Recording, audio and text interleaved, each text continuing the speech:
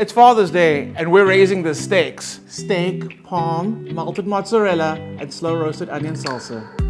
So with your strands running that way, with the back of your knife, you're going to give it a tap, tap, tap, tap, tap, tap, tap.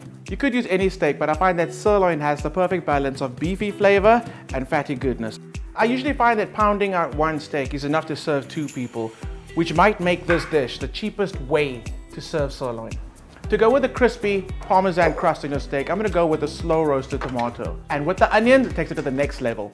My dad keeps it simple in the kitchen. He focuses on the best ingredients possible and big, bold flavor. That's exactly what this dish is. And that's exactly what I learned from my dad. You could use your grill setting in the oven, but it's Father's Day, right?